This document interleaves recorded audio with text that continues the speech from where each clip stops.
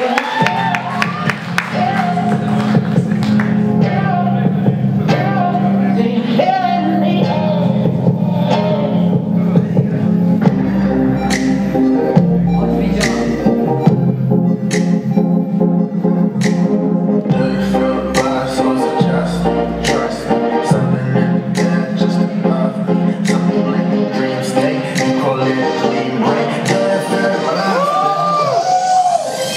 I try to